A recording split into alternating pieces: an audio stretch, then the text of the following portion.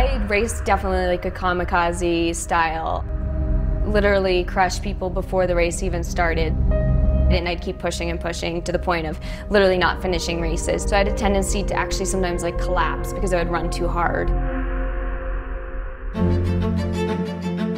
2014, I had one of my best marathoning years ever. The 10 years of training that I've had behind me allows me to make really good transitions between the track and the marathon. But I felt like something was missing. I decided that I wasn't going to be fully prepared under that coaching system and to really dive into the marathon I needed a really good endurance coach.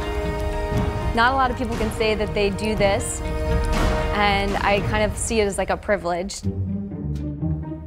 The cookbook project, we were talking about runners sometimes had some of the worst diets we'd ever seen. I genuinely enjoy getting in the kitchen. I'm not afraid of it anymore. I eat this literally before like every long run and marathon as well, so.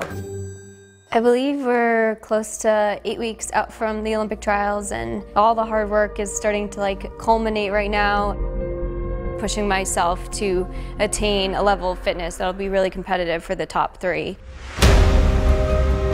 I always think about when I'm running it how many people have run up and down this road. It's all about just building the best Shalane that I can build right now and being the fittest I can be. She works her ass off and she does it in such a smart way. Yeah, it's a pretty good quality run. So I think we were averaging 6.30ish a mile. That's a pretty solid long run for me right now.